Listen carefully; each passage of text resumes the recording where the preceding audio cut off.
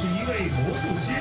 在美丽的西安夜。တရုတ်နိုင်ငံအနောက်မြောက်ပိုင်းရှမ်းစီနေရဲ့မြို့တော်ရှီယန်မြို့မှာနှစ်တကူပွဲတော်အထိမ်းအမှတ်အဖြစ်မီးရောင်စုံပါရှိတဲ့ဒရုန်းယာဉ်300နဲ့အလှပြပြန်တမ်းမှုပြီးခဲ့တဲ့ဖေဖော်ဝါရီလ20ရက်နေ့ညကပြုလုပ်ခဲ့ပါတယ်။အဆိုပါအလှပြမောင်းနှင်မှုမှာနှစ်တကူဒေသချင်းတင်ဆက်မှုနဲ့အတူ LED မီးတွေတက်ဆင်ထားတဲ့ဒရုန်းအဖွဲ့တစ်ဖွဲ့ဟာမိုးဖွဲဖွဲရွာနေတဲ့ကောင်းကင်မှာအလှပြပုံဖော်ပြန်တမ်းမှုတွေပြုလုပ်ခဲ့တာပါ။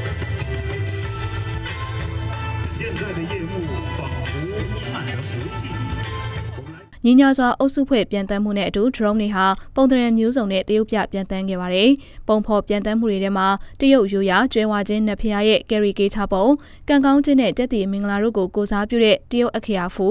ပျော်ရွှင်ခြင်းကိုကိုစားပြုတဲ့အခရာရှိနဲ့တခြားဆန်းရွာသည့်တင်ကေတပုံစံတွေတရုတ်ပြပြန်တမ်းမှုပြုလုပ်ခဲ့ပါတယ်။နှစ်သက်ကူအထိမ်းအမှတ်တရုတ်ပြပွဲတက်ရောက်လာတဲ့အားပေးသူပရိသတ်တွေကဖုန်းတွေနဲ့မှတ်တမ်းတင်တပ်ပုံရိုက်ကူးခဲ့ပြီး drone တရုတ်ပြမောင်းနှင်မှုတွေကိုအားပေးကြည့်ရှုခဲ့ပါတယ်။ ဒီတရုတ်ပြပွဲကိုစီစဉ်သူရှောင်းယီဖန်က